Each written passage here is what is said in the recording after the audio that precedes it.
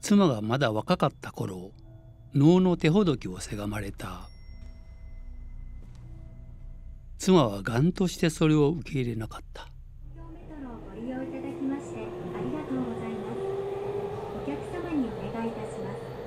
亡き母が私に教えてくれました。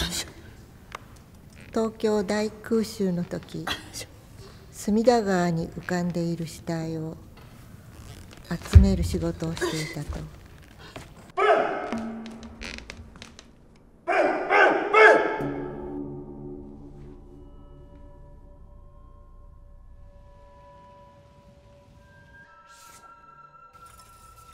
息子のヒロが能楽堂を売ろうとしてるんです。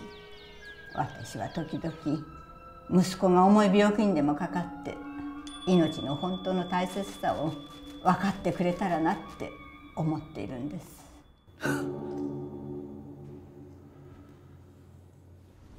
でもね能楽堂の起源となった松の木を見つけてそこに明さんの位牌を持っていけば。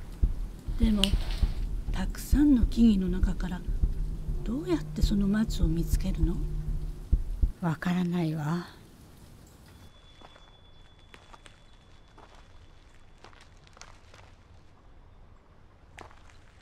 能の起源と言われている松の木は本当に存在するのか。